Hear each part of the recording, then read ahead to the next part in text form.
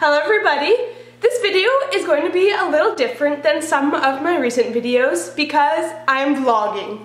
So today I am heading to Saskatoon for an acrylics class. So I am a certified nail technician and esthetician and so in my full aesthetics course there was a acrylic portion of it as well. However, I did not find that it was very thorough. So I do not offer acrylics to my clients. I'm not sure if I will after this class either. We will see how it goes. Hopefully I pick it up all right. But the reason I'm taking this class is here in Saskatchewan, they offer a nail technician journeyman.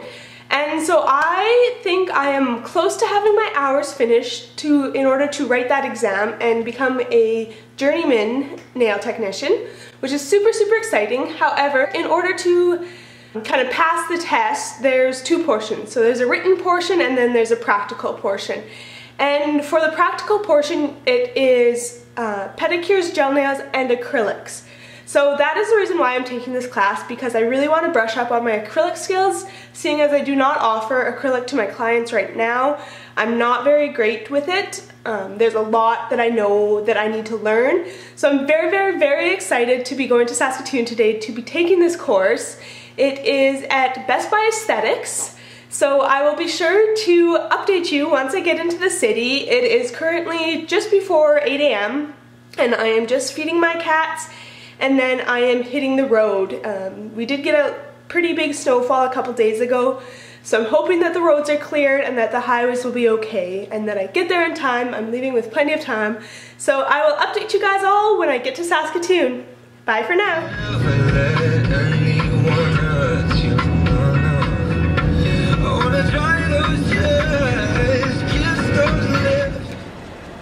Okay, so we have now made it to Best Buy Esthetics in Saskatoon.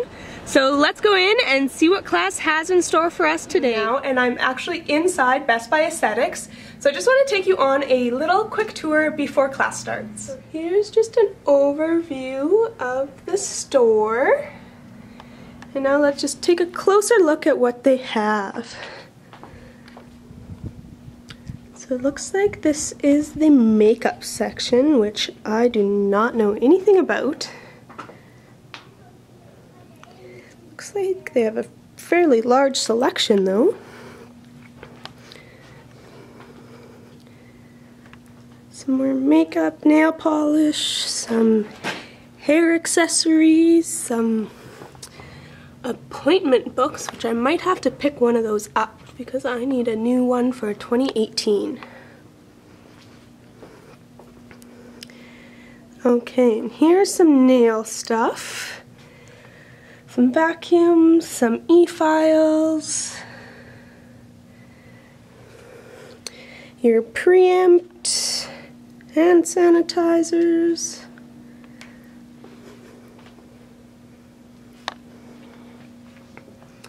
Some really pretty scarves over here.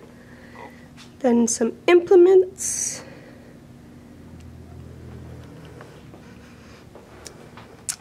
I love their wall decal, that's really pretty. I've actually been looking for something similar to that to put in my salon at home.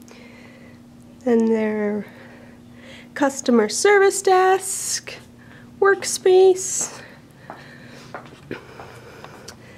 And we're in the back of the store now and there's some Footlogix products. I, my clients actually love this um, dry skin mousse. It's very popular with my clients. Then this looks like your files and stuff.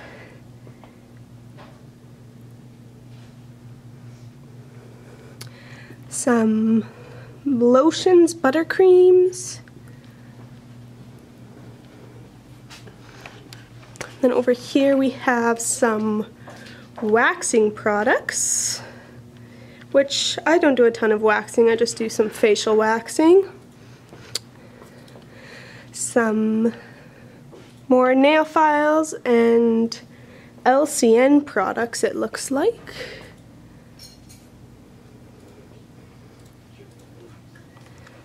So this is the fall collection and it comes in this gorgeous little clutch bag. Very, very pretty. cleanser, some Super Shine. I'm loving my Super Shine that I picked up at the Nail Masters event.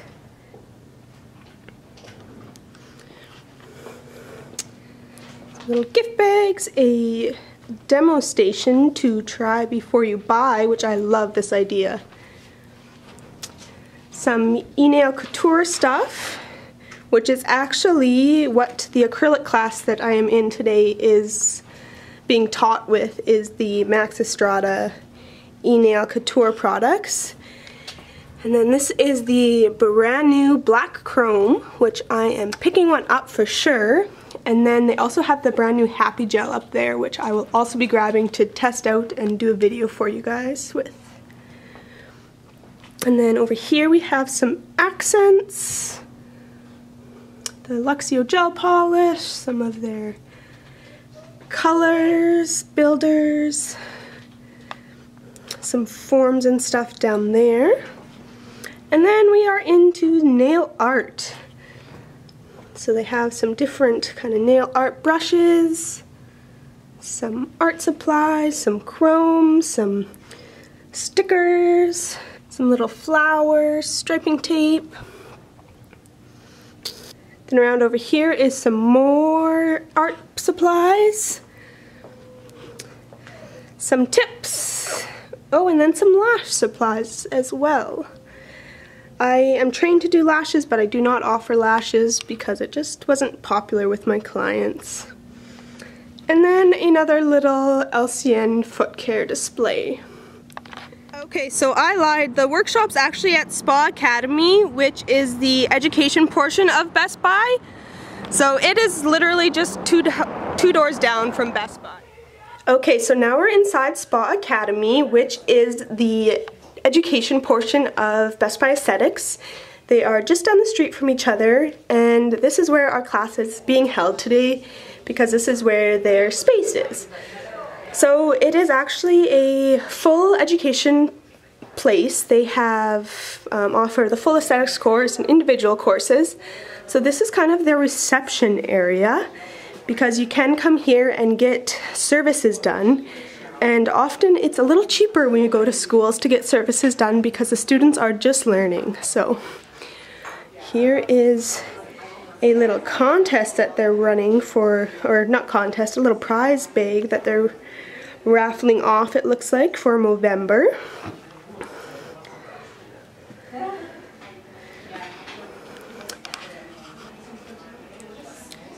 Okay, and then they have a little retail area over here. I love this picture. It's so funny. I'll teach you how to look after and find your brush. But if you take it and it's stiff and you bend it over, you're going to snap some of your bristles in it. So don't do anything. Okay, so they have some more Footlogix over here. So this area is more geared towards your clientele, not uh, the professional retail section. That was over in Best Buy. This is just retail for your clients. And if we go around the corner over here, this is where the actual classroom is. So there's people starting to set up for the day. So they have a couple nail desks, and then over here they have a little pedicure station, which is really cool. So I should go set up and I will check back again in a bit. Okay, so this is the little gift bag that came with it. It is super, super cute. I love the packaging. So let's open it up and see what's inside. So up first, if I can get it out of the bag, we have the Max Estrada nail forms. And I have never used these forms before, but they look really good and I am always in the market to try new things, so I'm excited to give those a try. Then we have a 100 to 40 nail file from LCN. Okay, we have an acrylic brush. I'm not sure the brand, but I believe they said it's a size 8 or 10. You'll see me use it later on in this video anyways. I love the crystal handle of it though. We have Milky Way acrylic, which is kind of an off-white color. Next we have crystal clear acrylic, which as the name sounds is clear. Then we have a colored acrylic in a neon yellow, super, super bright. We have Shiny Top Coat, which is a tack-free top coat. We have the monomer, which is supposedly smells like cotton candy. A yellow buffer. This is the prep, I believe. It's kind of hard to read the bottle though. Some pure acetone. And we have an Accents little mini buffer.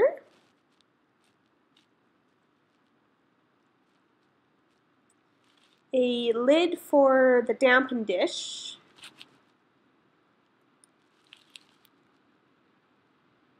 Uh, just some clear swatch sticks to practice on.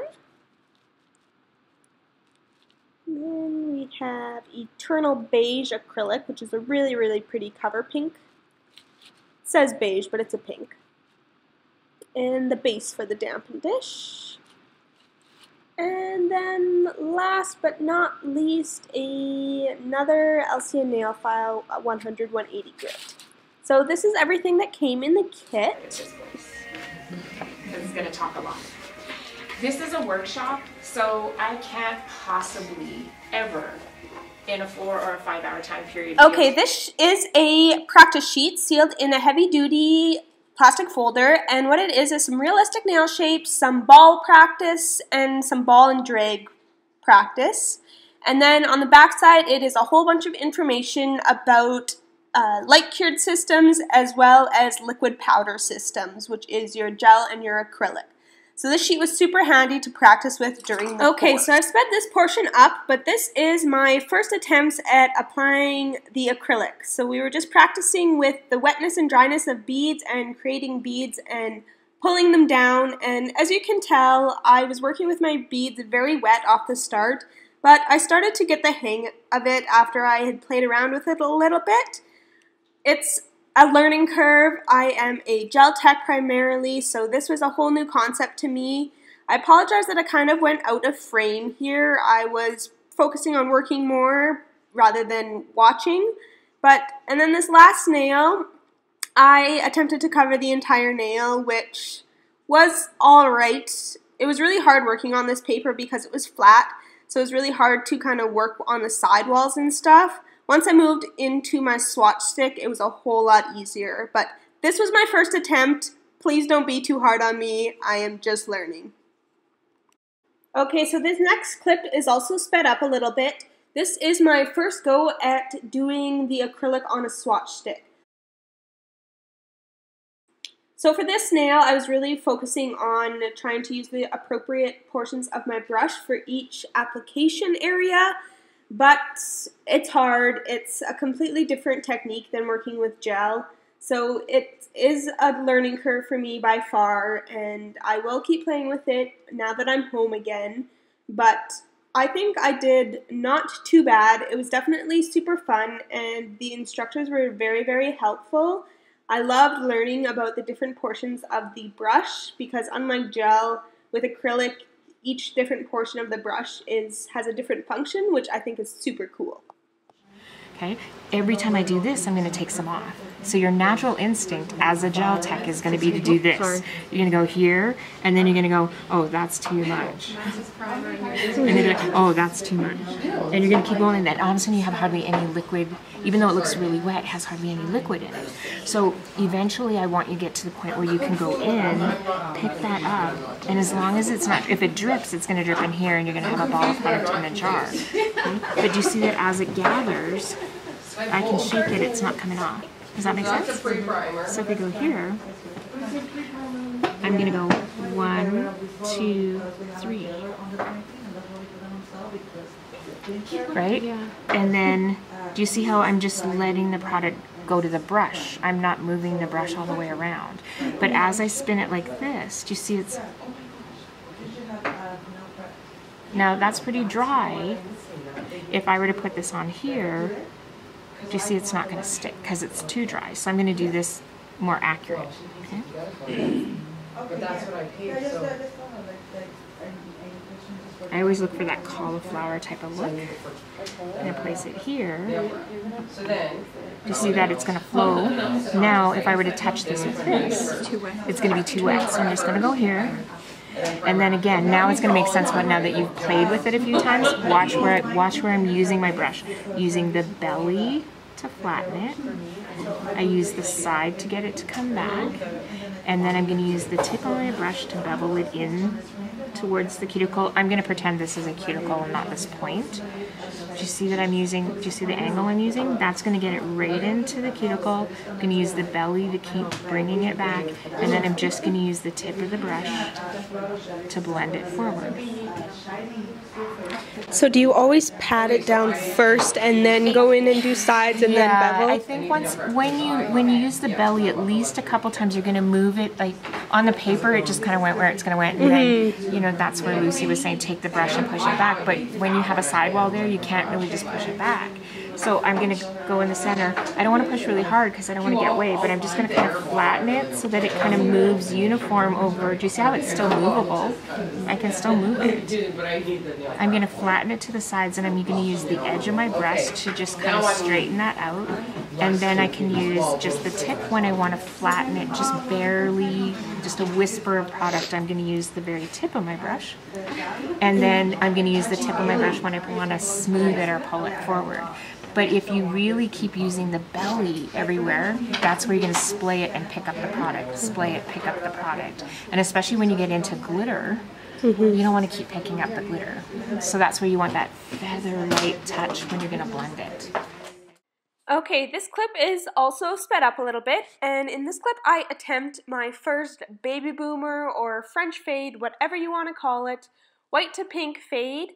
So for the white portion, I am using the Milky Way, and then for the pink portion, it is Eternal Beige.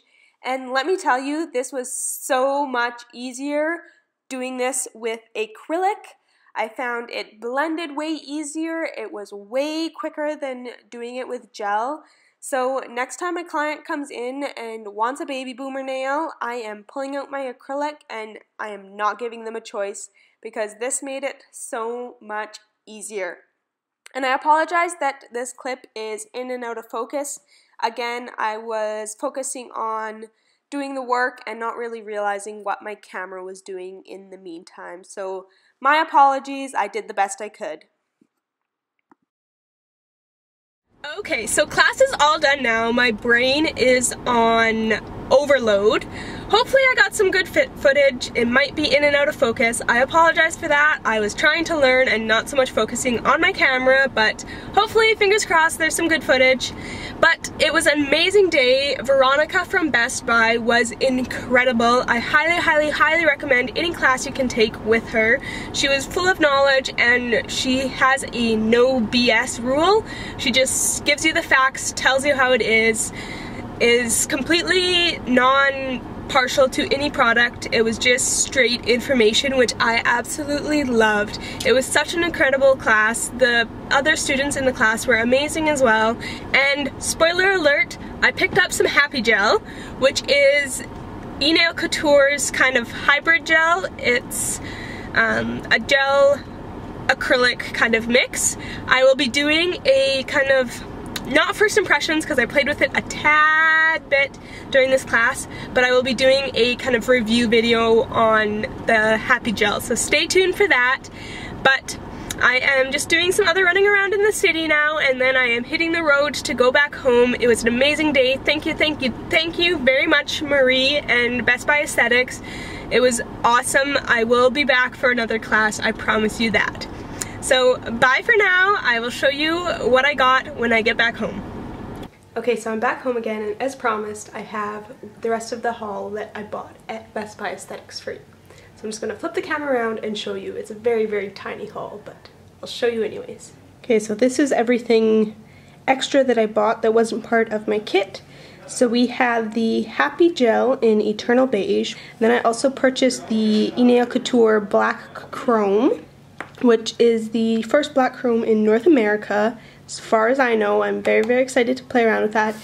And then I just got another just scrubby brush, just a cheap brush to clean my implements with. So that is everything. I hope you guys enjoyed this vlog video. and be sure to stay tuned for my next video. Bye!